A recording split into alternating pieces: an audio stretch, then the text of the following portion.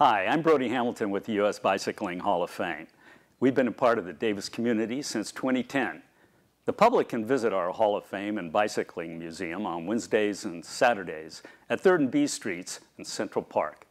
You'll find videos and memorabilia from historic Hall of Famers like Greg LeMond and Major Taylor.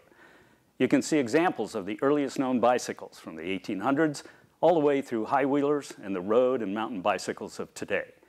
We host tour groups and field trips where visitors can learn about American history, women in cycling, and the first bicycle lanes in America.